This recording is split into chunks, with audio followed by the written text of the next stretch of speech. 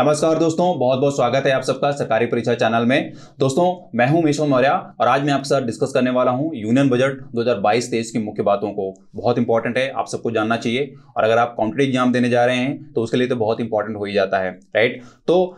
Budget की मुख्य बातों को डिस्कस करने से पहले थोड़ा जान लेते हैं कि बजट को प्रस्तुत करने का पहले का जो प्रोसेस होता है, वो क्या होता है राइट तो दोस्तों हर साल की तरह इस बार का भी जो बजट है, वो वित्त मंत्री के द्वारा प्रस्तुत किया गया और हमारी जो वित्त मंत्री हैं, वो निर्मला सीतारमण है तो उन्होंने ये बजट प्रस्तुत किया राइट और बजट प्रस्तुत करने का जो पहले प्रोसेस है मतलब कि उसको किस तरीके से तैयार किया जाता है और फाइनली किस तरीके से प्रस्तुत किया जाता है तो थोड़ा सा मैं उसमें आपको एक तरीके से बता देता हूँ। वो ये है कि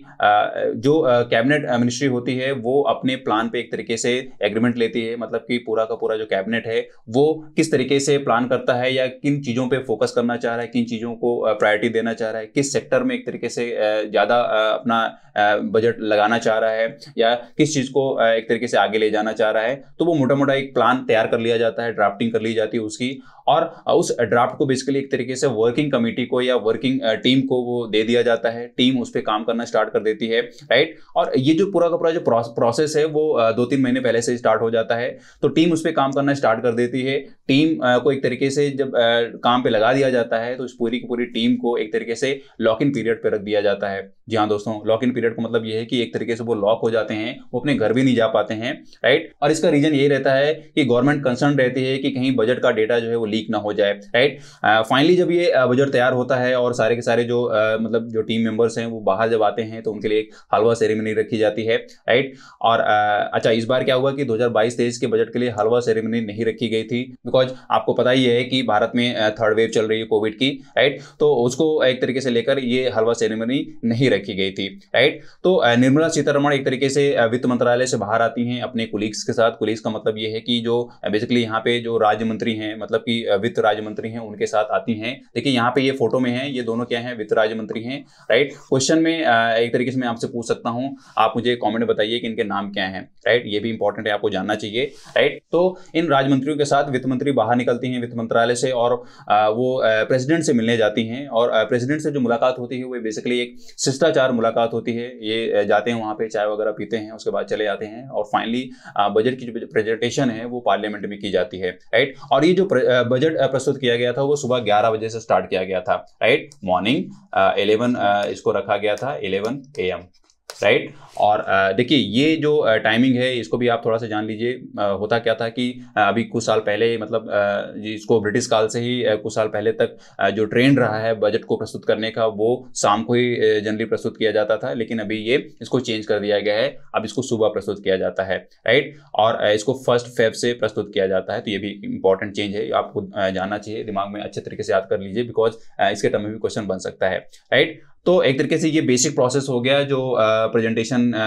तक पहुँचती है राइट तो बजट को थोड़ा सा डिटेल में जानने से पहले हम यहाँ पे जान लेते हैं बजट से संबंधित कुछ इंपॉर्टेंट फैक्ट्स को या यूँ कह लें कि बजट के टर्म में कुछ स्टेटिक पॉइंट्स को राइट मतलब अगर हम यहाँ पे बात करें यूनियन बजट ऑफ़ इंडिया के फैक्ट्स के बारे में तो आपको यहाँ पे मालूम होना चाहिए कि ये जो बजट होता है उसको एक तरीके से कॉन्स्टिट्यूशन में किस तरीके से वर्डिंग दी जाती है, किस तरीके से रेफर किया जाता है। तो मैं आपको बता दूँ कि कॉन्स्टिट्यूशन में जो वर्डिंग है बजट के लिए वो एक तरीके से प्रस्तुत किया जाता है as a annual financial statement under the article 112 जी हाँ दोस्तों, इसको एक तरीके से एनुअल फाइनेंशियल स्टेटमेंट रखा गया है अंडर द आर्टिकल 112 मतलब कि एक तरीके से कोई भी गवर्नमेंट होगी, उसको अपना एक एनुअल फाइनेंशियल स्टेटमेंट रखना पड़ेगा और ये कॉन्स्टिट्यूशनली रखा गया है। मतलब कि कोई भी गवर्नमेंट होगी, उसको अपना एक एनुअल फाइनेंशियल स्टेटमेंट रखना पड़ेगा, उस स्टेटमेंट में उसको बताना पड़ेगा कि वो क्या प्लान कर रही है और उसकी प्लानिंग में कितने खर्चे निकल कर आ रहे हैं और उसकी कितनी आमदनी हो रही है। बेसिकली ये एक तरीके से समझने के लिए रखा जाता है कि देश की इकोनॉमी की हेल्थ किस तरीके से चल रही है, आप उस हेल्थ से किस तरीके से आगे बढ़ना चाह रहे हैं राइट मोटे तौर पर यह है। और अगर हम यहाँ पे देखें प्रेजेंटेशन डेट को आप देख लीजिए यहाँ पे first February of the year रखा गया है राइट मतलब ये चेंज आया है। फ़र्स्ट फेब से अब इसको प्रस्तुत किया जाएगा। और अगर हम यहाँ पे इंपॉर्टेंट नोट के तौर पे आप इसको देख लीजिए कि 2016 तक इसको जो देखा जाता है वो last working day of February रखा जाता है राइट तो ये बजट प्रस्तुति का एक एक, तरीके से जो डेट है वो आपके दिमाग में एकदम से याद हो जानी चाहिए राइट और प्रेजेंटेड बाय फाइनेंस मिनिस्टर जहाँ फाइनेंस मिनिस्टर इसको प्रस्तुत करते हैं। प्रेजेंटेशन जो लोकेशन होती है वो ऑब्वियसली पार्लियामेंट में होती है। फ़र्स्ट यूनियन बजट अगर आप यहाँ पे जानना चाहें तो ट्वेंटी सिक्स नवंबर 1947 को आर के सनमुखम चेट्टी के द्वारा इसको प्रस्तुत किया जाता है राइट तो ये भी आप अच्छे तरीके से याद कर लीजिए। फ़र्स्ट वुमन फाइनेंस मिनिस्टर जो है वो इंदिरा गांधी हैं राइट ये भी आपको अच्छे तरीके से याद हो जाना चाहिए। तो ये कुछ इंपॉर्टेंट फैक्ट्स थे स्टेटिक जीके टाइप का था, जो आपको याद हो जाना चाहिए। छोटे छोटे एग्ज़ाम्स में ऐसे भी कई बार क्वेश्चन बन जाते हैं राइट और अब थोड़ा सा यहाँ पे जान लेते हैं कुछ इंटरेस्टिंग मतलब कि कई बार आपने देखा होगा कि बजट को प्रस्तुत करते समय वित्त मंत्रियों के हाथ में इस तरीके के बैग्स मतलब कि अभी तो आपने ये वाला देखा होगा, इससे पहले आपने ये वाला देखा होगा, ये ब्लैक में है और इसके पहले आपने रेड में भी इसको देखा होगा राइट तो क्या कोई भी फाइनेंस मिनिस्टर कोई भी बैग लेके जा सकता है? तो हालाँकि इसमें कोई मतलब बाउंडेशन नहीं है, कोई कॉन्स्टिट्यूशनल इसमें एक तरीके से प्रावधान नहीं रखा गया है। हालाँकि ये एक तरीके से ट्रेंड के तौर पर देखा जाता है राइट अगर आप यहाँ पे वर्ड मीनिंग में जाएँ बजट तो बजट एक तरीके से आप इसको मोटे तौर पे इकोनॉमिकल पॉइंट ऑफ़ व्यू से समझते हैं कि इसको एक तरीके से स्टेटमेंट के तौर पे देखा जाता है प्लानिंग देखी जाती है कि कोई भी गवर्नमेंट कोई भी कंपनी कोई भी ऑर्गेनाइजेशन अपने एक्शन प्लान को देखती है, उसमें किस तरीके से उसके खर्चे होने वाले हैं, किस तरीके से उसकी आमदनी आ रही है राइट इन सबका एक तरीके से वो मोटे तौर पर लेखा जोखा होता है राइट जिसको यहाँ पे बही खाता भी कई बार बोला जाता है अपने इंडियन कल्चर में राइट तो यहाँ पे मैं आपको बता दूँ कि बजट की जो वर्ड मीनिंग है या यूँ कह लें कि बजट वर्ड की जो ओरिजिन है, वो एक वर्ड है जो कि फ्रेंच वर्ड है बॉजेट उससे आया हुआ है राइट यहाँ पे लिख दे रहा हूँ, आप उसको अच्छे तरीके से दिमाग में रख लीजिए राइट बाउजेट राइट तो इस वर्ड से आया है और बेसिकली इस वर्ड की जो मीनिंग है दैट इज़ लेदर जी हाँ दोस्तों ये जो बैग होता था, वो एक्चुअली में लेदर बैग होता था राइट? और ऐसी में जनरली बजट को बजट की जो भी कॉपीज होती थी फ़िज़िकल कॉपीज होती थी, उनको रखा जाता था और फाइनेंस मिनिस्टर उन कॉपीज को पढ़ते थे और एक तरीके से प्रेजेंट करते थे राइट तो आप यहाँ पे समझ गए होंगे कि जो बजट है, वो इस लेदर बैग के यूज़ के पॉइंट ऑफ़ व्यू से यहाँ पे इस वर्ड की ओरिजिनेशन होती है राइट तो इसका यूरोपियन कंट्रीज़ में भी वहाँ भी बहुत सारी कंट्रीज़ में इसी बैग में, यानी कि लेदर बैग में ही बजट को प्रस्तुत किया जाता रहा है और अभी भी बहुत सारी कंट्रीज़ में प्रस्तुत किया जाता है राइट लेकिन अपने इंडिया में क्या होता है कि वित्त मंत्री निर्मला सीतारमण इसमें एक चेंज लाती हैं। चेंज ये आता है कि 2018 में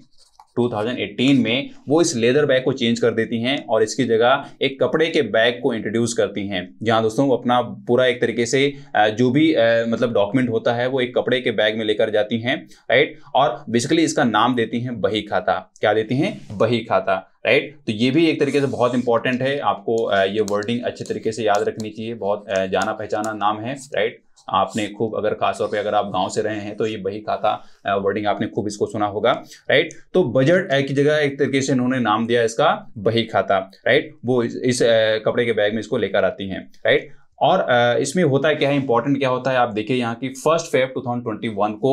निर्मला सीतारमण अपना जो बजट है, वो पहला पेपरलेस बजट प्रस्तुत किया जाता है। भारत का यूँ समझ लें भारत का पहला पेपरलेस बजट प्रस्तुत किया जाता है, वो भी निर्मला सीतारमण जी के द्वारा राइट तो हालाँकि इसमें जो एक तरीके से बात की जा रही है कि पेपरलेस बजट वो एक टैबलेट के थ्रू बजट को पढ़ती हैं और वो अपना टैबलेट जो है, वो इसी बैग में लेकर आती हैं राइट इसी बैग में उस टैबलेट को लेकर आती हैं। मतलब इट लुक्स लाइक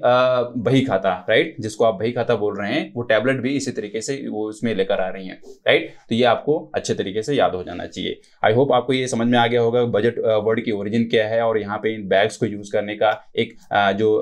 ट्रेंड का रीजन है वो क्या रहा है राइट नाउ यहाँ पे थोड़ा सा आप समझ लेते हैं कि बजट का एक तरीके से जो मोटे तौर पर डेटा तैयार किया गया है, खासतौर पर दो हज़ार बाईस और तेईस के लिए उसको किस तरीके से रखा गया है, किस तरीके से समझा जा रहा है बजट को। तो इसमें बेसिकली बजट कोई भी हो, उसमें मोटे तौर पर दो ही चीज़ों का एक तरीके से ख्याल रखा जाता है कि पैसा कहाँ से आ रहा है और पैसा कहाँ जा रहा है। मतलब पैसा मतलब आपकी जो एक तरीके से आमदनी है, वो कहाँ कहाँ से आ रही है और आपके जो खर्चे हैं, वो किन किन फील्ड्स में जा रहे हैं राइट तो उसी तरीके से यहाँ पे यूनियन बजट में भी है। एक मोटे तौर पे जो डेटा यहाँ पे निकाला गया है ऑन एवरेज या जो परसेंटेज के तौर पे रखा गया है, वो ये है। आप यहाँ पे समझ लीजिए कि अगर हम यहाँ पे देखें कि गवर्नमेंट के खर्चे सॉरी गवर्नमेंट की जो आमदनी है, वो किन किन फ़ील्ड से हो रही है तो आप यहाँ पे देख सकते हैं। आप देखो, यहाँ पे गवर्नमेंट की जो एक तरीके से यहाँ पे देखो रुपये में डेटा रखा गया है, इसको आप पैसे से भी समझ सकते हो, अगर आपको यहाँ पे डेसिमल कंफ्यूजन हो जा रहा है तो आप समझो कि यहाँ पे दो पैसा मतलब कि इस पूरे डेटा को हंड्रेड पैसे के रूप में देख रहे हैं राइट क्या देख रहे हैं? हंड्रेड पैसे के रूप में देख रहे हैं। उसी उसी में हम इसको डिवाइड कर रहे हैं परसेंटेज में राइट तो आप मान के चलो कि यहाँ पे जो नॉन डेप्ट कैपिटल रिसिप्ट हैं गवर्नमेंट के लिए, वो दो पैसा है। मतलब कि एक तरीके से दो परसेंट है गवर्नमेंट के लिए गवर्नमेंट की आमदनी के लिए नॉन डेप्ट कैपिटल रिसिप्ट के तौर पर राइट और यहाँ पे नॉन टैक्स जो रेवेन्यू है, वो फाइव है, यानी कि फाइव पैसा है राइट और जो गुड्स एंड सर्विस टैक्स से आमदनी हो रही है गवर्नमेंट को, वो सिक्सटीन है, यानी कि सिक्सटीन पैसा है। यूनियन एक्साइज ड्यूटीज़ से जो पैसा आ रहा है, वो सेवन परसेंट है यानी कि सेवन पैसा है। कस्टम्स से जो यहाँ पे आमदनी हो रही है, वो फाइव पैसा है राइट इनकम टैक्स जो आ रहा है, वो फिफ्टीन परसेंट है, यानी कि फिफ्टीन पैसा है। और यहाँ पे एक तरीके से जो मोटे तौर पे उसको लेना पड़ रहा है गवर्नमेंट को बोरोइंग एंड अदर लाइबिलिटीज जो कि थर्टी फाइव परसेंट है। देखिए, यहाँ पे बोरिंग का मतलब यहाँ पे थोड़ा सा आप कंफ्यूज मत होइएगा। थोड़ा होता क्या है कि बजट कई बार जब बनाया जाता है तो उसके लिए पैसे की कमी हो जाती है राइट इस कमी को पूरा करने के लिए एक तरीके से गवर्नमेंट को बोरो करना पड़ता है राइट तो उसके किस तरीके से बोरिंग प्रोसेस होता है कौन सी फ़ील्ड उसमें इन्वॉल्व होती है राइट उसको थोड़ा सा भी बाद में डिस्कस कर लेंगे। लेकिन आप मोटे तौर पर आप ये जानिए कि गवर्नमेंट के पास जो पैसा आता है, वो इन इन फ़ील्ड से आता है और एक तरीके से इस परसेंटेज में आता है। और खासतौर पर इस डेटा को आप टू मतलब कि 2022 और 23 के हिसाब से ही देखिए। गवर्नमेंट ने ये जो एक तरीके से रखा है अपना एक्सपेक्टेशन राइट तो उसके टर्म में ये डेटा है। अब यहाँ पे देख लेते हैं कि पैसा जो है, यानी कि गवर्नमेंट के पास जो पैसा आया, वो किस तरीके से खर्च हो रहा है किन किन फील्ड्स में वो खर्च हो रहा है राइट तो देखिए, पैसा कहाँ जा रहा है गवर्नमेंट का? तो यहाँ पे अगर हम बात करें ये भी देखिए, यहाँ पे हंड्रेड पैसे के टर्म में ही बात हो रही है कंफ्यूज मत हुए। राइट? और बिल्कुल आप यहाँ पे डेसिमल से भी कंफ्यूज मत हो क्योंकि ये रुपी में रखा गया है बट आप इसको पैसे में कन्वर्ट कर सकते हैं। तो देखिए गवर्नमेंट का जो सेंट्रली स्पॉन्सर्ड स्कीम्स हैं, उसमें नाइन पैसा जा रहा है, यानी कि नाइन परसेंट पैसा जा रहा है, खर्च हो रहा है। अदर एक्सपेंडिचर में आप देखें तो अदर एक्सपेंडिचर को आप बाद में देख लीजिएगा नाइन पैसा है, लेकिन पहले आप देखो कि सेंट्रली स्पॉन्सर्ड स्कीम में नाइन पैसा जा रहा है, उसके बाद सेंट्रल सेक्टर स्कीम्स में पंद्रह जा रहा है, यानी कि पंद्रह पैसा जा रहा है। और इंटरेस्ट पेमेंट्स में ट्वेंटी पैसा जा रहा है। अब देखिए यहाँ पे इंटरेस्ट पेमेंट्स क्या आ रहा है? आपने देखा लास्ट स्लाइड में कि जो हम बात कर रहे हैं बोरिंग की तो बोरिंग कोई ऐसे थोड़ी ना दे देगा। उसके लिए वो क्या करेगा? इंटरेस्ट लेगा राइट तो उसके लिए भी गवर्नमेंट को क्या करना पड़ता है? अगले फाइनेंशियल ईयर में उसको वो इंटरेस्ट देनी पड़ती है राइट और अगर डिफेंस फ़ील्ड की बात करें तो गवर्नमेंट का डिफेंस में एट पैसा खर्च हो रहा है, यानी कि एट परसेंट पैसा खर्च हो रहा है। सब्सिडीज में अगर हम बात करें तो वो एट पैसा जा रहा है। सब्सिडीज भी खास तौर पे इसमें जो एग्रीकल्चर सब्सिडीज हैं, उसके टर्म में पैसा काफ़ी जाता है राइट तो ये एट पैसा है। और अगर हम finance commission and other transfers की बात करें तो ये दस पैसा जा रहा है, यानी कि टेन परसेंट जा रहा है right state shares of taxes and duties की बात करें तो इसमें सत्रह पैसा जा रहा है, यानी कि सेवनटीन परसेंट जा रहा है। पेंशन में ये फोर परसेंट जा रहा है, यानी कि चार पैसा जा रहा है। राइट? और अगर अदर एक्सपेंडिचर की बात करें तो ये नाइन पैसा है। तो इस तरह कुल मिलाकर ये जो सौ पैसा है, यानी कि वन रुपी जो है, वो इस तरीके से खर्च होता है डिफरेंट फील्ड्स में डिफरेंट सेक्टर्स में राइट तो आपको यहाँ पे मोटे तौर पे समझ में आ गया कि गवर्नमेंट ने खासतौर पे 2022 और 23 के लिए किस तरीके से अपना ये एक एक्सपेक्टेशन रखी है राइट और रियलिटी क्या होगी? मतलब कि किस तरीके का एक फाइनल वहाँ पे स्टेटमेंट आता है फाइनल एक रिसर्च आती है और यहाँ पे जो गोल सेट किए गए हैं वो अचीव हो पाते हैं, नहीं हो पाते हैं, वो एक फाइनल स्टेटमेंट होता है। जैसे ही कोई भी असेसमेंट ईयर खत्म होता है राइट और इसको आप बाद में पढ़ सकते हैं। हालाँकि आपने जब भी इसको बजट को पढ़ा हो तो आप एक तरीके से इकोनॉमिक सर्वे और जो एक असेसमेंट ईयर होता है असेसमेंट ईयर के बाद जो एक फाइनल स्टेटमेंट आता है उसको ज़रूर पढ़ लिया करें बिकॉज़ वो कॉम्पिटेटिव एग्ज़ाम में कई बार पूछा जाता है राइट तो ये हमने बात कर ली बजट में कि पैसा कहाँ से आता है और पैसा कहाँ पे जाता है। लेकिन अब आप यहाँ पे देखो, जैसे मैंने आपको लास्ट स्लाइड में बताया कि गवर्नमेंट को कई बार क्या होता है, पैसे की कमी हो जाती है राइट तो आप यहाँ पे देख सकते हो पैसा कहाँ जाता है। लेकिन होता क्या है कि कई बार बजट के जो गोल्स होते हैं, उनको मीट करने के लिए या उनको अचीव करने के लिए कई बार पैसे की कमी हो जाती है। और पैसे की कमी को पूरा करने के लिए एक तरीके से मैंने जो आपको बताया कि उसमें गवर्नमेंट को पैसा एक तरीके से मार्केट से लेना पड़ता है, बोरो करना पड़ता है तो वो एक प्रोसेस होता है। राइट तो इस वजह से क्या होता है कि हमेशा मतलब हमेशा एक तरीके से आता ही रहा है इंडियन बजट में कि हमेशा फ़िज़िकल डेफिसिट मिला है। फ़िज़िकल डेफिसिट का मतलब यह है कि आपने जितना प्लान किया मतलब कि आपके पास जो आमदनी आई, उस आमदनी आमदनी से ज़्यादा आपके खर्चे हो गए। मोटे तौर पर आप इसको ऐसे समझें कि आपकी आमदनी जो है वो एक तरीके से एक रुपये है, लेकिन खर्च जो हो रहा है वो आपका डेढ़ रुपया हो रहा है। तो वो एक तरीके से वो क्या हो जा रहा है? फ़िज़िकल डेफिसिट आ रहा है। राइट तो फ़िज़िकल डेफिसिट के टर्म में आपको डेटा बहुत अच्छे से याद रखना चाहिए। एग्ज़ाम के पॉइंट ऑफ़ व्यू से मैं पिछले दो तीन साल का आपको एक तरीके से बता देता हूँ। देखिए, अगर हम बात करें दो और इक्कीस असेसमेंट ईयर की तो देश का जो फ़िज़िकल डेफिसिट रहा है, वो 9.2 परसेंट रहा है। कितना रहा है? 2020 और 21 का जो रहा है, वो 9.2 परसेंट रहा है। राइट ये आप अच्छे से याद कर लें। वहीं अगर हम बात करें 2021 2022 की 2022 की तो ये 6.9 परसेंट रहा है। कितना रहा है? 6.9 परसेंट रहा है। और अगर हम बात करें 22 और 23 की तो इसमें एक तरीके से टारगेट रखा गया है।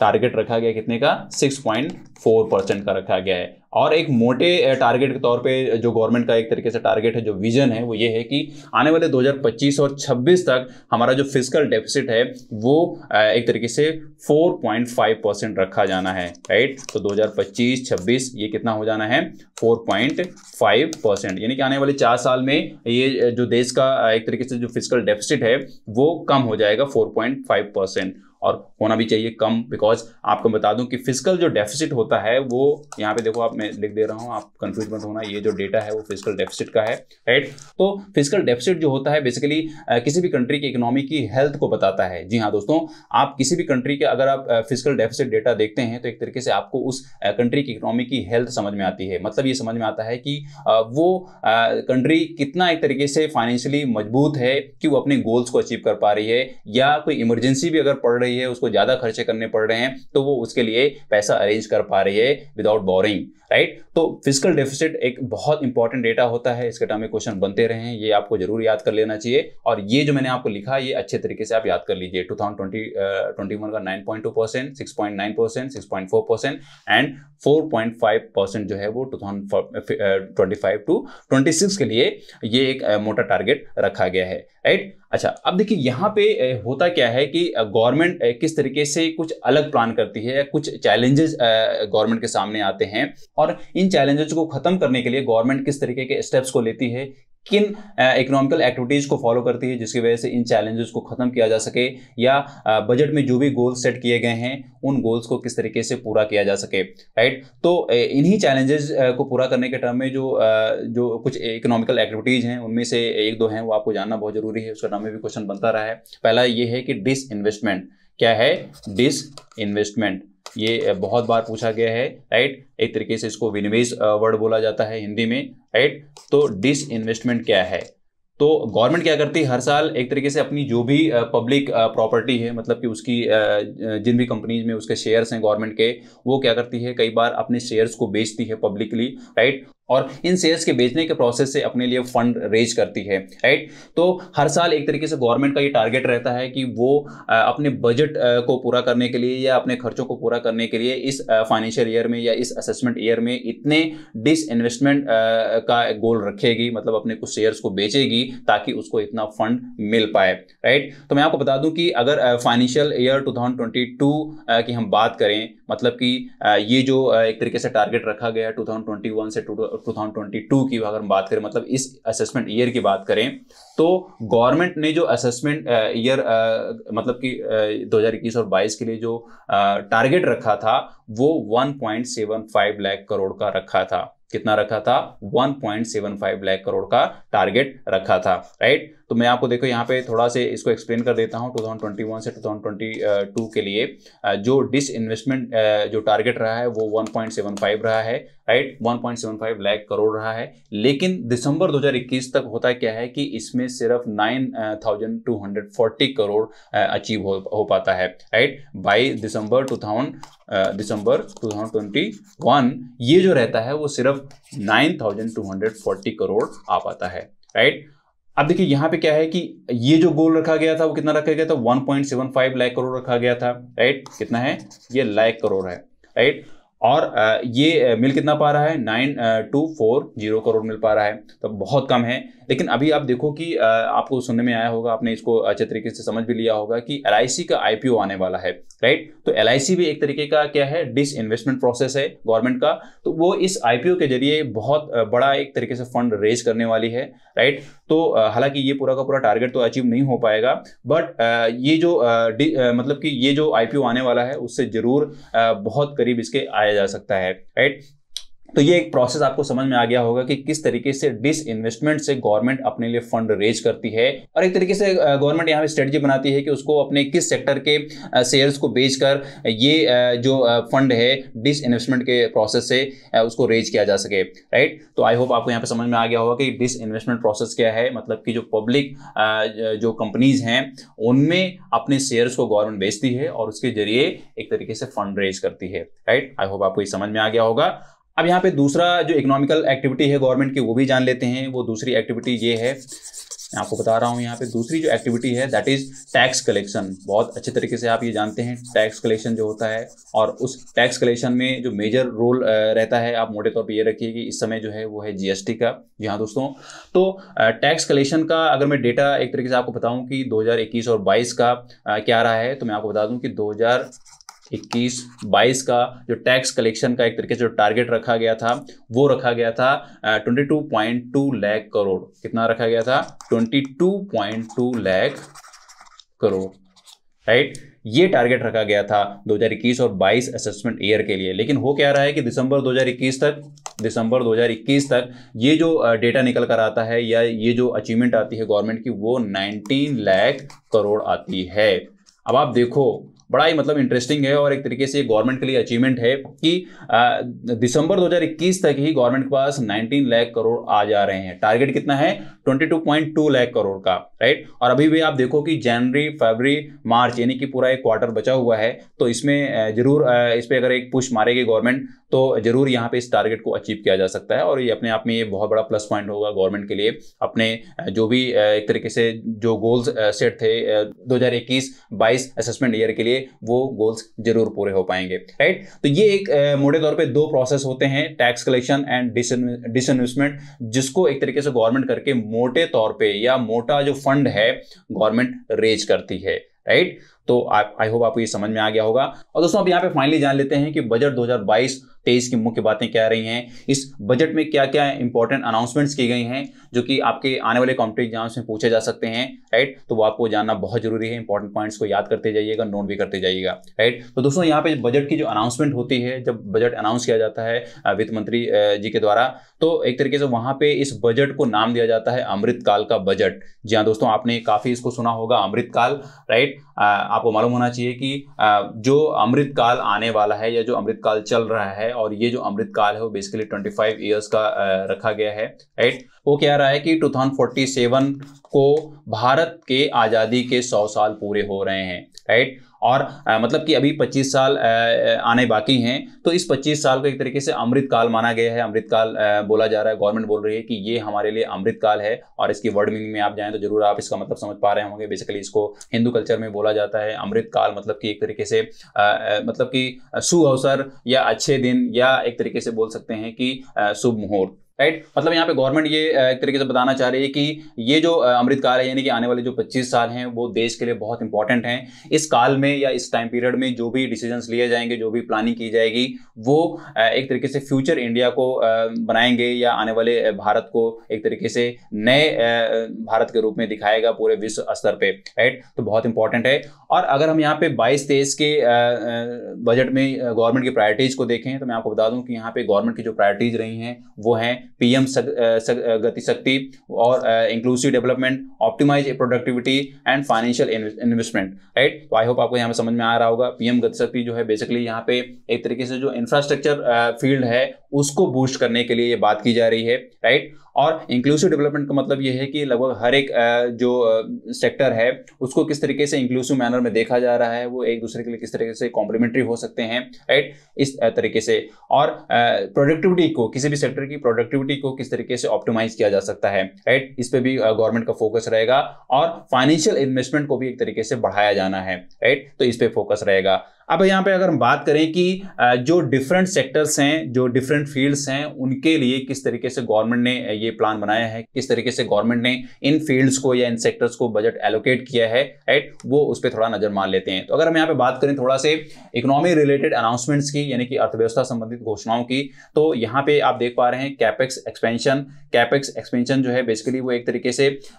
यहाँ पे बात की जा रही है कैपिटल एक्सपेंसेस की। मतलब कि कई बार क्या होता है कि जो यहाँ पे अगर हम कैपिटल मार्केट की बात करें तो कैपिटल मार्केट में एक तरीके से जो इंडस्ट्रीज़ आती हैं तो इंडस्ट्रीज़ की अपनी खुद की एक्सपेंसेस होती हैं। कई बार क्या होता है फैक्ट्रीज को स्टैब्लिश करने के लिए या ऑलरेडी जो फैक्ट्रीज चल रही हैं, जो इंडस्ट्रीज़ चल रही हैं, वहाँ पे एक तरीके से मशीनरीज को फिर से स्टैब्लिश करना है न्यू मशीनरी को स्टैब्लिश करना है, पुरानी मशीनरी को हटाना है, वहाँ पे टूट फूट चल रही ये अपने कुछ एक्सपेंसेज हैं। तो एक तरीके से इन एक्सपेंसेस को भी गवर्नमेंट एक तरीके से वहाँ पे खर्चे के तौर पर देखती है कि अगर हम यहाँ पे खासतौर पे जो छोटी इंडस्ट्रीज़ हैं, जिसको एक तरीके से फाइनेंशियल सपोर्ट चाहिए तो उसको किस तरीके से यहाँ पे मैनेज किया जाए राइट ताकि देश की जो प्रोडक्टिविटी है, वो कम ना हो पाए राइट तो गवर्नमेंट ने यहाँ पे रखा है, और गवर्नमेंट ने ये रखा है कि from rupees 5.4 lakh crore to rupees 7.5 lakh crore right ये इसने एक्सपेंड किया है। मतलब कि एक तरीके से कवरेज के तौर पर आप इसको देख सकते हैं, ताकि जो इंडस्ट्रीज़ हैं, उनको सपोर्ट किया जा सके। E C L G S extended coverage expanded अगर आप यहाँ पे देखें मतलब जिसका है कि emergency credit line guarantee scheme है राइट और इसको एक्सटेंड किया जा रहा है टू तक राइट और इसका मतलब यहाँ पे आप सिर्फ़ यही समझिए कि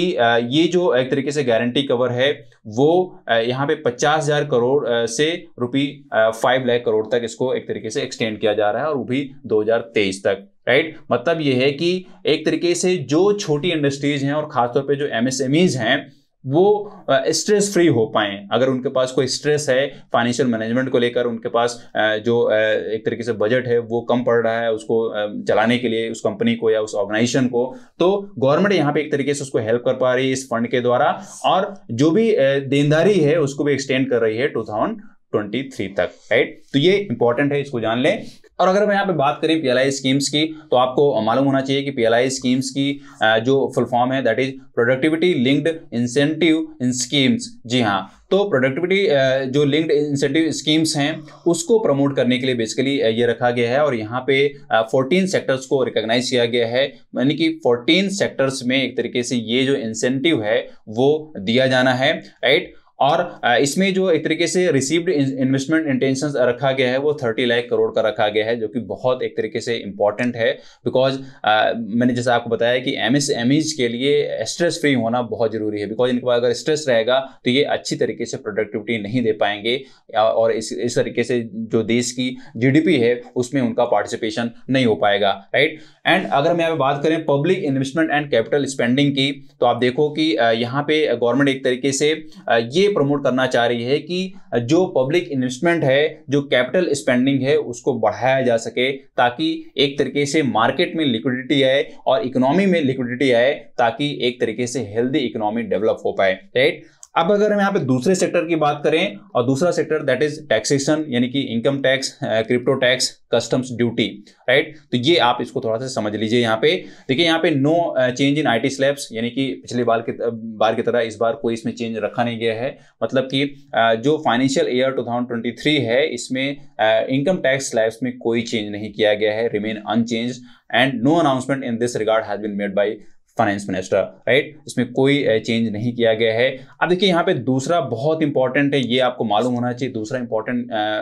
बात जो है, यहाँ पे ये है कि डिजिटल असेट्स ट्रांसफ़र के टर्म में इन्होंने जो टैक्सेशन है, उसको बहुत बढ़ाया है। और ये है basically thirty percent and one percent T D S is to be collected on transfer of these assets right तो ये थर्टी परसेंट टैक्स एक तरीके से रखा जा रहा है और बेसिकली ट्रांसफ़र के टर्म में भी रखा जा रहा है राइट मतलब कि देखिए, यहाँ पे वर्डिंग जो रखी गई, वो रखी गई डिजिटल डिजिटल एसेट्स की और इसको मोटे तौर पे देखा जा रहा है क्रिप्टो टैक्स के तौर पे राइट तो ये जो डिजिटल एसेट्स ट्रांसफ़र है और इसके लिए जो टैक्स लिया जा रहा है बेसिकली वही क्या है? क्रिप्टो टैक्स है राइट और आ, मैं आपको बता दूँ उसको थोड़ा सा भी बाद में डिस्कस करेंगे कि गवर्नमेंट ने एक तरीके से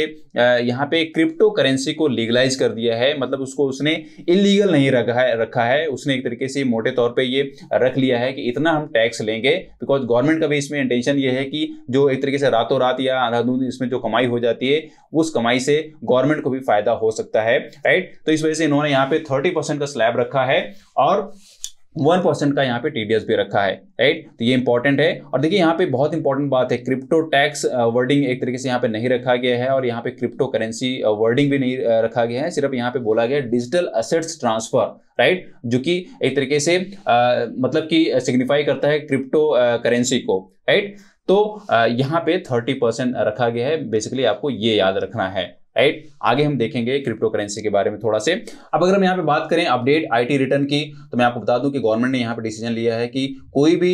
जो नागरिक है वो एक तरीके से अपने जो रिटर्न है उसको अच्छे तरीके से भर सकता है आने वाले दो साल के बाद भी। यानी कि अगर वो अपना अपडेटेड रिटर्न भरना चाह रहा है उसमें कोई सुधार करना चाह रहा है तो उसको दो साल का भी टाइम होगा। दो साल का मतलब ये है कि जो फाइनेंशियल ईयर है जो असेसमेंट ईयर है उसके एंडिंग के बाद भी उसको दो साल का टाइम मिल जा रहा है राइट तो ये एक, तरीके से इंपॉर्टेंट यहाँ पे डिसीज़न माना जा सकता है बिकॉज़ कई बार क्या होता है कि कुछ लोग एक तरीके से रिटर्न भरने का इंटेंशन भी रखते हैं, लेकिन कई बार क्या होता है, वो क्लोज क्लोजिंग डेट चली जाती है राइट तो यहाँ पे एक तरीके से गवर्नमेंट ने रख दिया है कि आप अपना अपडेटेड रिटर्न जो है, वो डेट के फिनिश होने के बाद भी अगले दो साल उसको भर सकते हैं राइट ऑल्टरनेट मिनिमम टैक्स जो रखा गया है, वो कोऑपरेटिव सोसाइटीज के लिए 15 परसेंट रखा गया है राइट और सरचार्ज सरचार्ज जो रखा जाता है कोऑपरेटिव सोसाइटीज में, वो भी रिड्यूस किया गया है राइट और रिड्यूस टू सेवन परसेंट रखा गया है for income between rupees one crore to ten crore, right? मतलब कोऑपरेटिव सोसाइटीज की जो इनकम है, वन करोड़ से टेन करोड़ के बीच में अगर है तो उनके लिए जो यहाँ पे सरचार्ज रिड्यूस किया गया है that is seven percent, right? तो ये डेटा आप अच्छे तरीके से याद कर लें परसेंटेज के टर्म में। अगर हम बात करें टैक्स डिडक्शन लिमिट की गवर्नमेंट एम्प्लॉयज़ के टर्म में तो मैं आपको बता दूँ कि यहाँ पे increase to fourteen percent on employers contribution to NPS account of government state government employees right तो कितना किया गया है इसको? फोर्टीन परसेंट किया गया है। आई होप आपको समझ में आ गया होगा। देखते हैं नेक्स्ट सेक्टर क्या है, उसमें किस तरीके से बजट को एलोकेट किया गया है या किस तरीके से उसको प्लान किया गया है। तो अगर हम बात करें jobs and employment related announcement की तो ये एक बहुत बड़ा मेजर कंसर्न एक तरीके से बन चुका है इंडिया में राइट तो देखते हैं इस बार गवर्नमेंट ने किस तरीके से उसको प्लान किया है। अगर आप यहाँ पे देखें तो गवर्नमेंट ने प्लान किया है कि government sixty lakh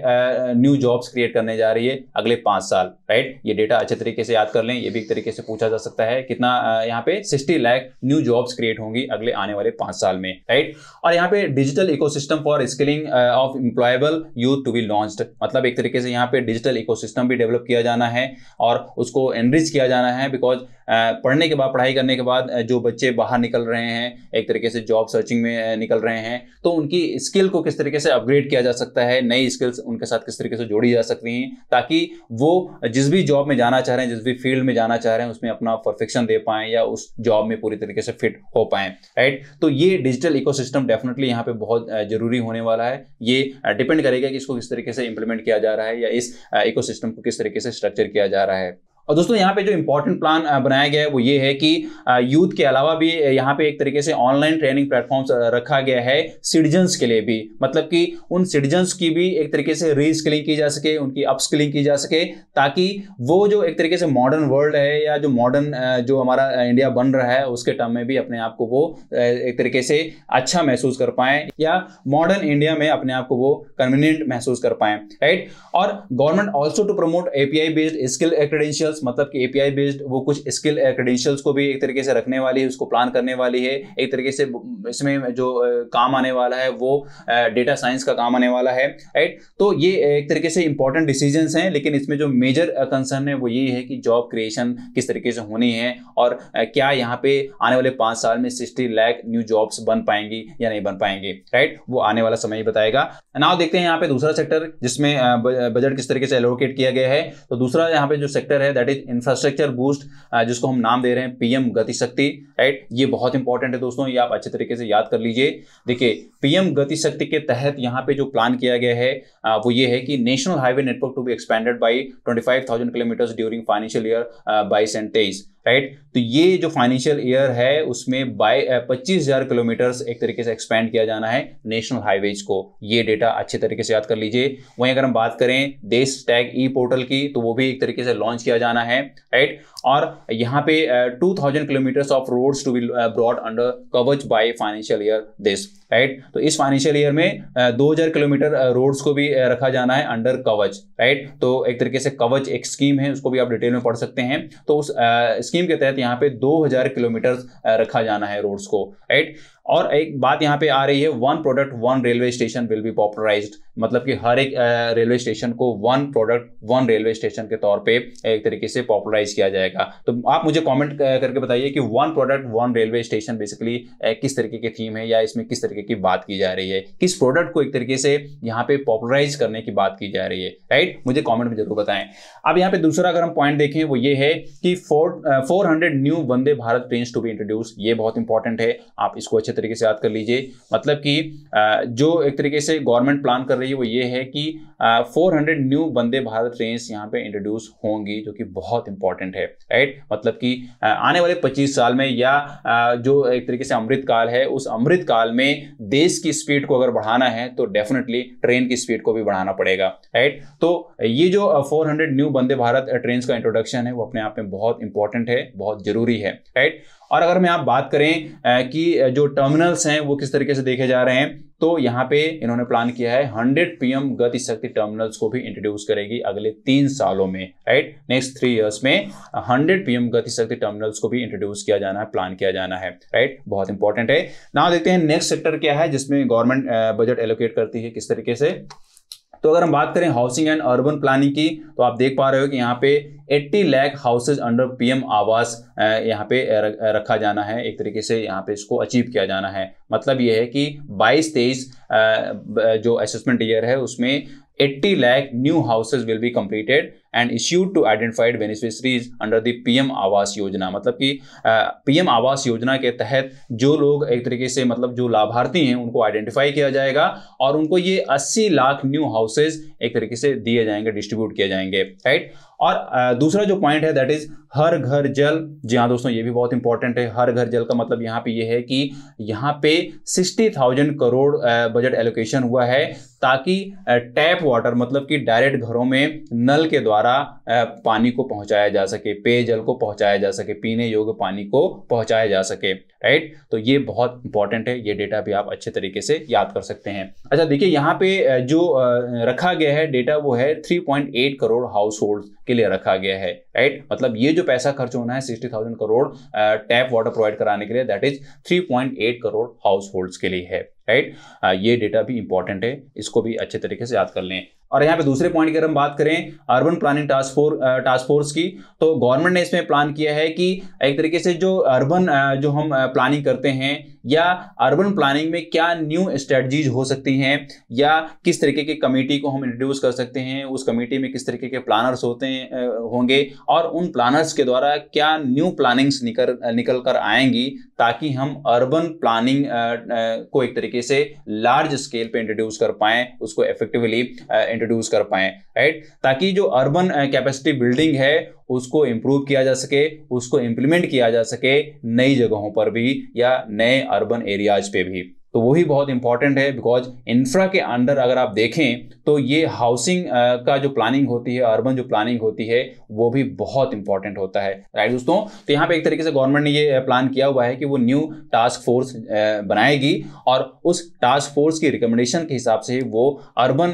जो प्लानिंग है वो करेगी। राइट तो ये भी बहुत इंपॉर्टेंट है। अगर हम बात करें अर्बन प्लानिंग इंस्टीट्यूट की तो यहाँ पे five existing academic institution for urban planning to be designated as centre for excellence with endowment fund of rupees two fifty crore right तो एक तरीके से एग्जिस्टिंग एकेडमिक इंस्टीट्यूशंस रखे गए हैं अर्बन प्लानिंग केटा में। उनको एक तरीके से यहाँ पे सेंटर फॉर एक्सीलेंस के तौर पर डेवलप किया जाना है। और आ, उनके लिए जो एक तरीके से यहाँ पे फंड दिया जाना है दैट इज़ 250 करोड़ दिया जाना है राइट ये भी बहुत इंपॉर्टेंट है। ना अगर हम देखें दूसरा सेक्टर जिसमें गवर्नमेंट बजट एलोकेट करती है that is M S M Es and startups ये बहुत इंपॉर्टेंट होता है देश की इकोनॉमी को बूस्ट करने के लिए या न्यू जॉब्स के क्रिएशन के टर्म में। हालाँकि अगर आप देखें पिछले दो तीन साल का डेटा देखें तो M S M Es and startups ने एक तरीके से युवाओं को काफ़ी रोज़गार दिया है राइट पूरे इंडिया में जो एक तरीके से न्यू जॉब्स का क्रिएशन हुआ है एम एस एंड स्टार्टअप्स के द्वारा काफ़ी ज़्यादा हुआ है राइट तो इसकी इंपॉर्टेंस को एक तरीके से गवर्नमेंट समझ रही है, वो ये देख रही है कि एम और स्टार्टअप्स बहुत तेज़ी से आगे बढ़ रहे हैं तो इनको सपोर्ट करना बहुत ज़रूरी है ताकि ये अपने आप को बड़ा कर पाएँ और ज़्यादा से ज़्यादा प्रोडक्टिविटी ला पाएँ और ज़्यादा से ज़्यादा रोज़गार जनरेट कर पाएँ राइट तो यहाँ पे इनको सपोर्ट करने के लिए एक रखा गया है inter interlinking of MSME portals मतलब कि जो एमएसएमई पोर्टल्स हैं, उनको एक तरीके से गवर्नमेंट ने इंटरलिंक करने का प्लान बनाया है। गवर्नमेंट ने बहुत सारे यहाँ पे एक तरीके से पोर्टल्स बना रखे हैं, जैसे कि उद्यम ई श्रम एन असीम, इन सारे प्लेटफॉर्म्स को एक तरीके से वो इंटरलिंक करने जा रही है। मतलब कि एक तरीके से ये पूरा जो डेटा है इन जो प्लेटफॉर्म्स जो पोर्टल्स की बात हो रही है वो डेटा जो है एक तरीके से इंटरलिंक होने वाला है। मतलब इस इंटरलिंक्ड डेटा के द्वारा गवर्नमेंट प्लान करेगी कि किस तरीके से जो एमएसएमईज हैं, वो एक दूसरे के लिए कॉम्प्लीमेंट्री हो पा रही हैं, या कौन सी जो एमएसएमई सेक्टर है, कौन सी एमएसएमई सेक्टर ज़्यादा जॉब्स क्रिएशन कर पा रही है राइट ये डेफिनेटली बहुत यूजफुल होने वाला है। और अगर हम बात करें रूरल स्टार्टअप्स की तो रूरल स्टार्टअप्स को भी बहुत इंपॉर्टेंस दी जा रही है। इसमें प्लान में रखा गया है बिकॉज़ गवर्नमेंट का ये मानना है कि पूरे देश में हर एक गाँव में या हर एक जो मतलब कि जो रूरल एरिया है, जो रूरल जोन है, उस जोन में कोई ना कोई एक तरीके से कला होती है, कोई ना कोई कल्चर होता है, जिसके बेसिस पे कोई ना कोई वहाँ पे इकोनॉमिकल एक्टिविटीज़ चल रही होती है। जैसे अगर हम बात करें हस्तकला की, शिल्पकला की राइट तो कई बार क्या होता है कि वो जो हस्तकला होती है, वो जो शिल्पकला होती है, वो उसको कॉमर्शलाइज किया जा सकता है। और उसके कॉमर्शलाइजेशन से वहाँ के लोगों की आमदनी को बढ़ाया जा सकता है राइट तो इस पॉइंट ऑफ़ व्यू से गवर्नमेंट ने ये भी प्लान किया है कि जो भी एक रूरल जोन है, अगर वहाँ पे कोई कला है तो उसको एक तरीके से कॉमर्शलाइज किया जा सके और हो सके तो उसको एक तरीके से स्टार्टअप के तौर पे वहाँ पे डेवलप किया जा सके। मतलब अगर वहाँ पे कोई स्टार्टअप आना चाह रहा है इस कला को कॉमर्शलाइज करने के लिए तो उसको भी एक तरीके से प्रमोट किया जा सके राइट ये भी बहुत इंपॉर्टेंट है।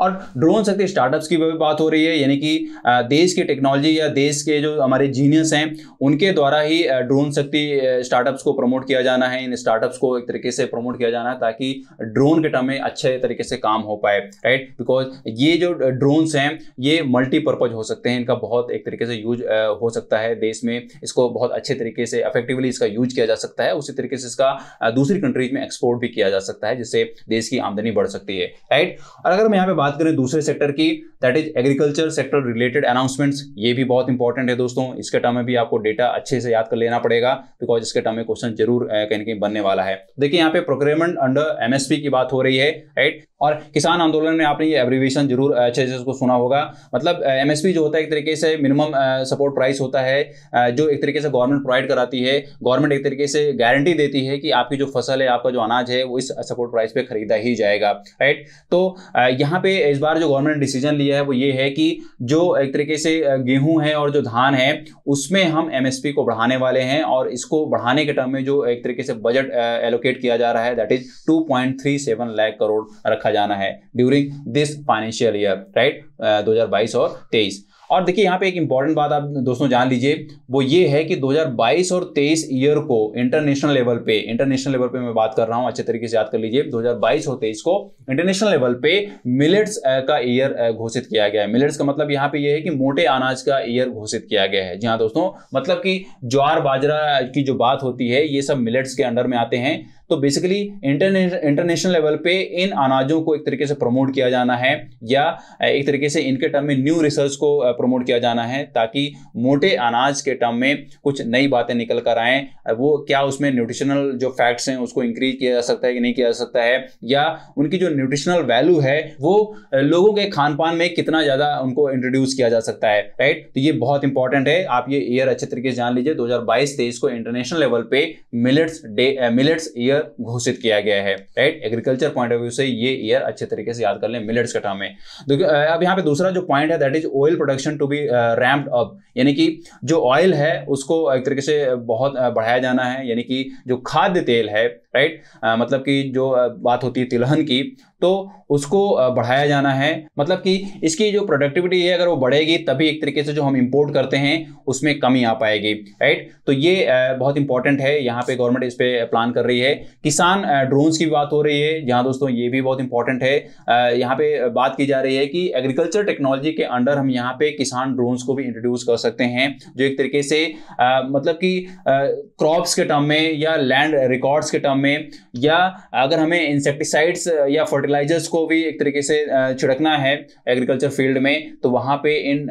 किसान ड्रोन्स को यूज़ किया जा सकता है। मतलब मोटे तौर पे यह है कि जो लैंड एरिया है, जो एग्रीकल्चर एरिया है, उसके रिकॉर्ड को भी अच्छे तरीके से बनाने के लिए किसान ड्रोन्स का यूज़ किया जा सकता है, और इंसेक्टिसाइड्स और फर्टिलाइजर्स को भी छिड़कने के लिए इसका यूज़ किया जा सकता है राइट और जो चल रही फ़सल होती है मतलब कि जो फ़सल चल रही होती है, मान लो कि गेहूँ बो दिया गया और उसमें एक तरीके से जो दो तीन महीने का टाइम लगता है तो उस फ़सल की बकायदा असेसमेंट के लिए भी इन ड्रोन्स का इस्तेमाल किया जा सकता है। मतलब ये जाना जा सकता है कि जो हमारी फ़सल है, आने वाली जो फ़सल है, गेहूँ की फ़सल है, उससे कितनी उत्पादकता आ सकती है राइट तो ये एक बहुत बड़ा एडवांटेज होगा किसान ड्रोन्स के द्वारा राइट रिवर लिंकिंग प्रोजेक्ट भी बहुत इंपॉर्टेंट है बिकॉज़ अगर रिवर्स में साल भर पानी रहेगा तो उससे लिंक्ड जो नहरें हैं, उनमें भी पानी रहेगा और डेफिनेटली वो क्या करेगा, जो लैंड एरिया है, यानी कि जो एग्रीकल्चर एरिया है, उसको ये एक तरीके से जल संसाधन मुहैया करा पाएगा राइट तो ये बहुत इंपॉर्टेंट है दोस्तों। इस प्लान में गवर्नमेंट ने फाइव रिवर लिंक्स को एक तरीके से फाइनलाइज किया है राइट और इसमें केन बेतवा रिवर लिंकिंग के प्रोजेक्ट के लिए जो वर्थ रखा गया है, जो बजट एलोकेट किया गया है दैट इज़ फोर्टी करोड़ रखा गया है, जो कि बहुत इंपॉर्टेंट है राइट तो यहाँ पे टोटल जो फाइव रिवर लिंक्स प्रोजेक्ट्स हैं, वो कौन से हैं? आप उसको आइडेंटिफाई करिए और उसकी लिस्टिंग करके याद करिए। बहुत इंपॉर्टेंट है। क्वेश्चन ज़रूर कहीं कहीं बनने वाला है। और अब दोस्तों देख लेते हैं कि दूसरा सेक्टर क्या है, यानी कि अगर हम बात करें एजुकेशन बजट की, यानी कि गवर्नमेंट एजुकेशन को किस तरीके से देख रही है आने वाले सालों में तो मैं आपको बता दूँ कि गवर्नमेंट ने एक तरीके से प्लान किया है कि वो एग्री एजुकेशन को प्रमोट करेगी या एग्री एजुकेशन में एक तरीके से, देखिए मोटे तौर पर इसको आप समझिए एग्री एजुकेशन क्या है? एग्री एजुकेशन जो बेसिक एजुकेशन आप पढ़ते आ रहे हैं वो तो है ही, लेकिन गवर्नमेंट इसको इस तरीके से देख रही है कि एग्री एजुकेशन में हमें जो न्यू एक तरीके से जो न्यू एग्रीकल्चर जो प्रैक्टिस हैं, जो न्यू एग्रीकल्चरल टूल्स हैं या जो एग्रीकल्चरल टेक्नोलॉजी है, उसको इंट्रोड्यूस किया जा सके। मतलब कि यहाँ पे सेंट्रल गवर्नमेंट एक तरीके से स्टेट गवर्नमेंट्स को इंकरेज करेगी कि वो अपनी जो जो मतलब जो सिलेबस है एग्रीकल्चर का, उसको एक तरीके से मॉडिफाई करे, उसमें चेंज लाए,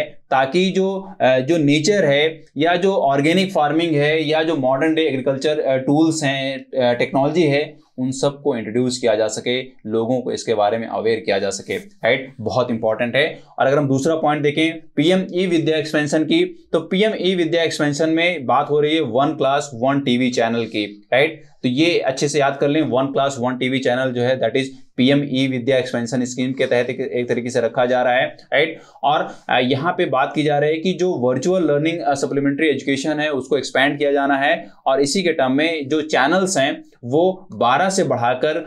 200 किए जाने हैं। यानी कि 12 टीवी चैनल से बढ़ाकर इसको 200 न्यू टीवी चैनल्स में एक तरीके से बढ़ाना है इन चैनल्स की संख्या को राइट और दोस्तों, यहाँ पे डिजिटल यूनिवर्सिटी की भी बात की जा रही है। प्लान किया गया है कि न्यू डिजिटल यूनिवर्सिटी को भी स्टैब्लिश किया जा सकेगा ताकि लोग जो है अपनी एजुकेशन को एक तरीके से डिजिटल मोड में देख सकें या अपने कोई भी वोकेशनल कोर्सेज करना चाह रहे हैं, खासतौर पर डिजिटल फ़ील्ड में वो वोकेशनल कोर्सेज करना चाह रहे हैं या वो अपनी स्किल को अपग्रेड करना चाह रहे हैं तो वो जो डिजिटल यूनिवर्सिटी है, ज़रूर उनकी हेल्प कर पाएगी राइट तो अपने आप में बहुत इंपॉर्टेंट है और इसको देखा जा रहा है कि ये जो एक तरीके से यूनिवर्सिटी होगी वो एक तरीके से स्किल डेवलपमेंट का या स्किल अपग्रेडेशन के लिए हब की तरह काम करेगा राइट जो कि बहुत इंपॉर्टेंट है यानी कि डिजिटल यूनिवर्सिटी भी अपने आप में बहुत इंपॉर्टेंट यहाँ पे एक, एक तरीके से पहल है राइट तो इसको अच्छे से याद कर लें। ना अगर हम यहाँ पे देखें कि फाइनेंस रिलेटेड क्या अनाउंसमेंट्स हुई हैं, यानी कि वित्त संबंधित क्या अनाउंसमेंट्स हुई हैं, वो भी बहुत इंपॉर्टेंट है राइट तो आपको मैं बता दूँ कि यहाँ पे जो मेन मेन अनाउंसमेंट्स हुई हैं, वो आप यहाँ फटाफट देखते जाओ। डिजिटल रूपी बाई आरबीआई ये बहुत इंपॉर्टेंट है। जो मैंने आपको बोला था कि मैं आपको एक तरीके से जो क्रिप्टो करेंसी है, उसके बारे में थोड़ा सा बताऊँगा।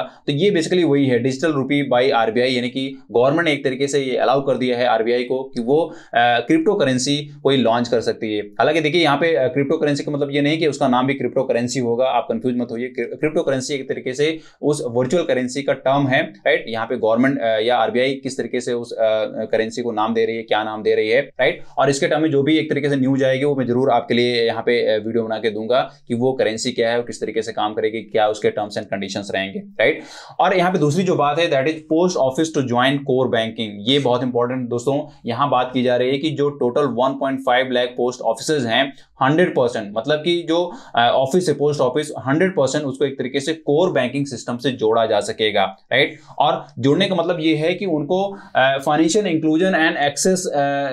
से एनेबल किया जा सकेगा राइट मतलब कि वहाँ पे net banking mobile banking uh and ये सारी की सारी चीज़ें जो एक तरीके से बैंकिंग सेक्टर में चल रही हैं, उन सारी चीज़ों को इन पोस्ट ऑफ़िस से जोड़ा जा सकेगा राइट ये भी बहुत इंपॉर्टेंट है। मतलब कि एक तरीके से यहाँ पे फाइनेंशियल इंक्लूजन को प्रमोट किया जा रहा है राइट तो ये इंपॉर्टेंट है अच्छे से याद कर लें। डेटा को न्यू डिजिटल बैंक्स की भी बात हो रही है। न्यू डिजिटल बैंक्स क्या है? बेसिकली यहाँ पे 25 न्यू डिजिटल बैंक्स का मतलब ये है कि 75 डिस्ट्रिक्ट्स में इन न्यू डिजिटल बैंक्स को स्टैब्लिश किया जाना है राइट और ये जो डिजिटल बैंक्स बनने हैं, वो डिस्ट्रिक्ट्स में ऑलरेडी जो शेड्यूल्ड बैंक्स हैं शेड्यूल्ड कॉमर्शियल बैंक्स हैं, उनको इन डिजिटल बैंक्स में कन्वर्ट किया जाना है राइट और प्लान क्या है नंबर क्या है? 75 न्यू डिजिटल बैंक्स राइट ये इंपॉर्टेंट है, ये डेटा अच्छे से याद कर लें। अगर हम बात करें गिफ्ट सिटी रिलेटेड अनाउंसमेंट्स की तो इसमें इंटरनेशनल अब्रिवेशन सेंटर भी एक तरीके से सेटअप किया जाएगा राइट ताकि इसमें जो वर्ल्ड क्लास की यूनिवर्सिटी है उसको चालू किया जा सके और उसमें डोमेस्टिक रेगुलेशन को लागू किया जा सके राइट अपने आप में ये भी बहुत इंपॉर्टेंट है बिकॉज़ अगर आप फाइनेंशियल इंक्लूजन लाना चाह रहे हैं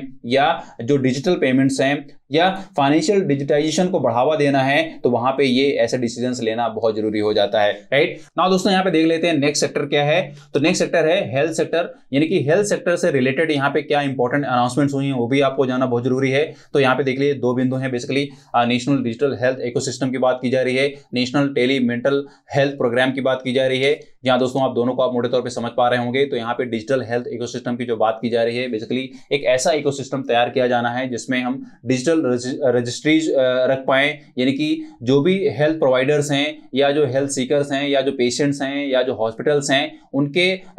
रजिस्ट्रीज को एक तरीके से डिजिटलाइज किया जा सके। हेल्थ फैसिलिटीज़ किस तरीके से प्रोवाइड की, की जानी है या हेल्थ फैसिलिटीज़ का किस तरीके से इंटीग्रेशन हो सकता है वो भी इंपॉर्टेंट है। यूनिक हेल्थ आइडेंटिटी भी एक तरीके से बननी बहुत ज़रूरी है राइट और universal access to health facilities भी देना बहुत ज़रूरी है ताकि पेशेंट कहीं पे भी रहे, किसी भी लोकेशन में जा रहा है, अपनी एक बकायदा मतलब अगर उसको एक कोई भी बीमारी चल रही है तो उसको अपनी जो हिस्ट्री है उसको साथ लेने की भी ज़रूरत ना पड़े ताकि कहीं पे भी रहे, वो अपनी उस हिस्ट्री के साथ अपने उस इलाज को करा पाए बहुत अच्छे तरीके से राइट तो ये बहुत इंपॉर्टेंट है। अगर हम दूसरे पॉइंट की बात करें that is national tele mental health programme की तो ये भी बहुत इंपॉर्टेंट है बिकॉज़ यहाँ पे मेंटल हेल्थ को भी इंप्रूव करना या मेंटल हेल्थ के टर्म में अवेयरनेस लाना भी बहुत ज़रूरी है राइट तो मेंटल हेल्थ ऑफ़ सिटीजन के टर्म में बात की जा रही है और गवर्नमेंट ने प्लान प्लान किया है कि वो एक national level mental health counselling programme भी लॉन्च करेगा, जो कि बहुत इंपॉर्टेंट है राइट और दोस्तों, यहाँ पे दूसरा अगर हम सेक्टर देखें that is telecom sector related announcements क्या हुई हैं तो आप यहाँ पे जान लीजिए, आप देख पा रहे हैं यहाँ पे फाइव जी हर जगह दिख रहा है।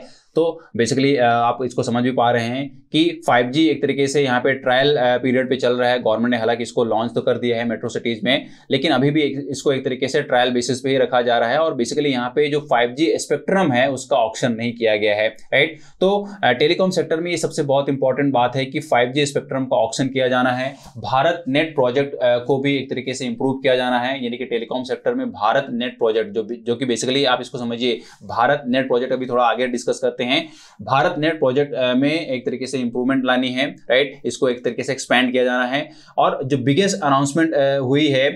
वो एक तरीके से ये हुई है कि 5G स्पेक्ट्रम का यहाँ पे ऑक्शन होगा राइट तो ये बहुत इंपॉर्टेंट है। आप इसको अच्छे तरीके से याद कर लीजिए राइट और मतलब ये 5G से रिलेटेड ही बेसिकली यहाँ पे अनाउंसमेंट है टेलीकॉम सेक्टर में ये बहुत बड़ा एक तरीके से इंप्रूवमेंट होगा अगर 5G को अच्छे तरीके से रोल आउट किया जा रहा है तो राइट और अगर हम यहाँ पे बात करें कि 5G इकोसिस्टम डेवलपमेंट की तो बेसिकली यहाँ पे गवर्नमेंट यही एक तरीके से रखना चाह रही है कि ब्रॉडबैंड एंड मोबाइल कम्युनिकेशन को खासतौर पर रूरल और रिमोट एरियाज़ तक किस तरीके से पहुँचाया जा सके या किस तरीके से इन एरियाज़ को कम्युनिकेबल बनाया जा सके ब्रॉडबैंड एंड मोबाइल के द्वारा राइट तो उसके लिए यहाँ पे फाइव जी सिस्टम को डेवलप करना बहुत ज़रूरी है राइट तो ये बेसिकली जो यहाँ पे स्कीम रखी गई है, वो पीएलआई स्कीम रखी गई है राइट ये इंपॉर्टेंट है, इसको मैंने आपको पहले भी बोला है, इसको डिटेल में ज़रूर पढ़ लीजिएगा right USO fund towards R and D यानी कि यहाँ पे जो यूनिवर्सल सर्विस ऑब्लिगेशन है, उसके टर्म में बात की जा रही है, उसके रिसर्च के टर्म में बात की जा रही है राइट और इसके लिए टेक्नोलॉजी का किस तरीके से अपग्रेडेशन किया जा सकता है, वो बात की जा रही है। तो गवर्नमेंट ने इसको भी प्लान किया है। भारत नेट प्रोजेक्ट तो आप यहाँ पे समझ लीजिए, भारत नेट जो प्रोजेक्ट है बेसिकली ये है कि जो रिमोट एरियाज़ हैं, जो रूरल क्षेत्र हैं, यानी कि जो गाँव हैं, उन गाँवों तक भी हमें एक तरीके से ये जो ऑप्टिकल फाइबर है उसको पहुंचाना है। यानी कि ऑप्टिकल फाइबर का मतलब ये है कि वहाँ पे एक तरीके से ब्रॉडबैंड या नेट की उपलब्धता को पहुंचाना है ताकि गाँव के लोग भी पूरी तरीके से डिजिटाइज हो पाए राइट बहुत इंपॉर्टेंट है। भारत नेट प्रोजेक्ट किस तरीके से यहाँ पे एक तरीके से सक्सेसफुल हो, पाता है ये भी बहुत इंपॉर्टेंट वाली बात होगी। और इससे रिलेटेड जितने भी डेटा हैं भारत नेट प्रोजेक्ट वो आप ज़रूर पढ़ लें। बहुत इंपॉर्टेंट है आपके एग्ज़ाम के कॉन्टेक्स्ट में राइट अगर हम बात करें infra status to data centres की तो गवर्नमेंट ने इसको भी प्लान किया हुआ है मतलब कि यहाँ पे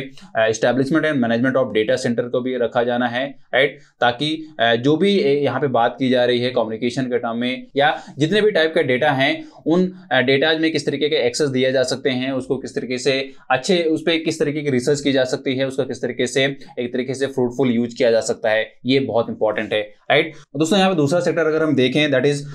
डिफेंस बजट यानी कि डिफेंस फ़ील्ड में किस तरीके का यहाँ पे अनाउंसमेंट हुई है तो भी जानना बहुत ज़रूरी है। मैं आपको बता दूँ, यहाँ पे बेसिकली फाइनेंस मिनिस्टर ने जिस तरीके के स्टेटमेंट यहाँ पे दिया है, वो ऐसे यही समझ में आ रहा है कि गवर्नमेंट जो है वो डिफेंस फ़ील्ड में सेल्फ रिलायंस होना चाह रही है मतलब कि एक तरीके से सेल्फ डिपेंडेंट भी होना चाह रही है राइट और यहाँ पे एक तरीके से गवर्नमेंट की डिफरेंट कोर्सेज जारी है और इसमें सबसे जो इंपॉर्टेंट जो कोर्सेज है that is defence R and D open मतलब यहाँ पे बेसिकली है दोस्तों की गवर्नमेंट जो है वो प्राइवेट इंडस्ट्री के लिए defence R and D sector को बढ़ावा देने वाली है, उसके लिए ओपन करने जा रही है राइट और इसमें जो टोटल फंडिंग है या टोटल जो बजट एलोकेशन है डिफेंस में, उसका ट्वेंटी परसेंट जो है वो इसी में जा रहा है, यानी कि डिफेंस आर एंड डी को ओपन करने के लिए ही जाने वाला है राइट तो इसकी इंपॉर्टेंस बहुत है बिकॉज़ इसमें एक तरीके से जो प्राइवेट जो एक तरीके से इन्वॉल्वमेंट है, यानी कि प्राइवेट सेक्टर को किस तरीके से डिफेंस फ़ील्ड में जोड़ा जा सकता है उसके लिए ये बेसिकली प्लानिंग है राइट बहुत इंपॉर्टेंट है। बिकॉज़ दोस्तों, अगर यहाँ पे प्राइवेट सेक्टर अच्छे तरीके से डिफेंस टूल्स का डेवलपमेंट कर पा रहा है या उनको प्रोड्यूस कर पा रहा है तो देश से इन टूल्स का और इक्विपमेंट्स का एक तरीके से एक्सपोर्ट किया जा सकेगा राइट जो कि देश की आमदनी को डेफिनेटली बढ़ाएगा राइट तो बहुत इंपॉर्टेंट है। ना यहाँ पे देख लेते हैं दूसरा सेक्टर क्या है? That is railways and transport related मतलब कि रेलवेज एंड ट्रांसपोर्ट रिलेटेड यहाँ पे इंपॉर्टेंट अनाउंसमेंट्स क्या हुई हैं, ये बहुत इंपॉर्टेंट है दोस्तों। जब भी इंफ्रा की बात आती है और जब भी मिनिस्ट्रीज की बात आती है तो मिनिस्ट्रीज में रेलवेज बहुत एक इंपॉर्टेंट मिनिस्ट्री हो जाती है राइट तो इससे रिलेटेड भी इंपॉर्टेंट जो अनाउंसमेंट्स है, उनको जानना बहुत ज़रूरी हो जाता है। तो देखिए यहाँ पे आप national highway network to be expanded by twenty kilometre यानी कि ट्रांसपोर्टेशन के अंडर में आप देखें कि गवर्नमेंट ने पच्चीस हज़ार किलोमीटर जो नेशनल हाईवे हैं उसको एक्सपैंड करने की बात की है। और अगर हम यहाँ पे बात करें ट्रेन की तो गवर्नमेंट ने 400 न्यू जनरेशन की वंदे भारत ट्रेन को चलाने का निर्णय लिया है, एक तरीके से प्लान किया है, जो कि मैंने आपको ऑलरेडी बता दिया है कि बहुत इंपॉर्टेंट है देश को गति देने के लिए और खासतौर पे ये जो अमृत काल का पीरियड है, उसमें अगर देश को आगे बहुत ले जाना है, गति देना है तो ये ट्रेन होनी बहुत ज़रूरी है राइट और हम यहाँ पे बात करें हंड्रेड पीएम गति शक्ति कार्गो टर्मिनल्स की भी बात की जा रही है राइट आने वाले तीन सालों में hundred PM Gatishakti cargo terminals को भी स्टैब्लिश किया जाना है, इसका यूज़ किया जाना है right innovative metro construction projects को भी एक तरीके से कमीशन किया जाना है ताकि जो मेट्रो सिटीज़ हैं, उनमें एक तरीके से मेट्रो को इंट्रोड्यूस किया जा सके, उन सिटीज़ में मेट्रो को इंट्रोड्यूस किया जा सके ताकि वो जो अर्बन एरिया है, वो जो सिटी है, वो और तेज़ी से एक तरीके से डेवलप हो पाए, गति पकड़ पाए राइट बहुत इंपॉर्टेंट है। सो आई होप दोस्तों आपको समझ में आ गया होगा, मोटे तौर पर पूरा बजट जो डिफरेंट फील्ड्स हैं, जो डिफरेंट सेक्टर्स हैं, उसमें किस तरीके से एक तरीके से एलोकेशन हुआ है, किस तरीके की यहाँ पे अनाउंसमेंट हुई है। देखिए, यहाँ पे मैंने बहुत ज़्यादा आपको डेटा देने की कोशिश नहीं की है या बहुत ज़्यादा यहाँ पे आपको एक तरीके से फाइनेंशियल डेटा देने की ज़रूरत नहीं समझी है बिकॉज़ अगर आप उसको सेक्टर वाइज अमाउंट के टर्म में देखना चाह रहे हैं तो उसकी एक बाकायदा आप रिसर्च करके लिस्ट बना सकते हैं। आप उसको याद कर सकते हैं कि किस सेक्टर में कितना बजट एलोकेट किया गया है। हालाँकि मैं अगर यहाँ पे मोटे तौर पर बता दूँ कि ये जो पूरा का पूरा जो बजट है, वो एक तरीके से एस्टिमेटेड जो बजट है, वो थर्टी 39.45 लाख करोड़ का है राइट कितना है? 39.45 लाख करोड़ का है राइट तो ये मोटे तौर पर हमारा बजट है जो कि 2022 और 23 के लिए है राइट तो ये आप अच्छे तरीके से याद कर लीजिए। और इसका किस तरीके से फाइनल डेटा निकल कर आता है यानी कि इस, इस प्लानिंग का इस बजट का आउटकम क्या निकल कर आता है वो नेक्स्ट असेसमेंट ईयर में समझ में आएगा राइट लेकिन जैसा मैंने आपसे ऑलरेडी बोला हुआ है कि जब भी कोई फाइनेंशियल ईयर खत्म हो कोई भी असेसमेंट ईयर खत्म हो तो फाइनल जो स्टेटमेंट आता है या जो आने वाला असेसमेंट ईयर है उसके लिए जो इकोनॉमिकल सर्वे है बेसिकली इन सब के टर्म में आपको हमेशा अपडेट रहना चाहिए डेटा को अच्छे तरीके से पढ़ लेना चाहिए याद कर लेना चाहिए क्वेश्चन इनसे बनते रहते हैं। राइट दोस्तों? तो इसी के साथ ये वीडियो खत्म करते हैं, यानी कि जो बजट 2022-23 की मुख्य बातें रही हैं, वो खत्म होती हैं यहाँ पे। आई होप आपको समझ में आ गया होगा मोटे तौर पे बजट किस तरीके से रहा है और किस तरीके की अनाउंसमेंट्स की गई हैं राइट और अगर वीडियो आपके लिए हेल्पफुल लगी हो तो इसको आप लाइक करें शेयर करें, और अगर आप चैनल में नए हैं तो इसको आप सब्सक्राइब कर लें, साथ में बेल आइकन को प्रेस कर लें, ताकि इंपॉर्टेंट वीडियोज़ आपसे मिस ना हो। राइट दोस्तों? और अगर आप करंट अफेयर्स में एक तरीके से एमसीक्यूज के टर्म में अपडेटेड होना चाह रहे हैं तो इस चैनल में रोज सुबह साढ़े छह बजे करंट अफेयर्स पे बेस्ड कुछ इंपॉर्टेंट एमसीक्यूज को डिस्कस किया जाता है। तो आप इस चैनल को सब्सक्राइब कर लें बेलाइकन को प्रेस कर लें, ताकि रोज सुबह साढ़े छह बजे आने वाली जो इंपॉर्टेंट एमसीक्यूज है, उसकी नोटिफिकेशन आपको मिल जाया करे और उसको आप प्लीज़ देखा करें बिकॉज़ वो बहुत इंपॉर्टेंट है आपके आने वाले कॉम्पिटेटिव एग्ज़ाम्स के लिए। राइट दोस्तों? तो मिलता हूँ आपसे नेक्स्ट वीडियो में। तब तक have a nice day great day and thank you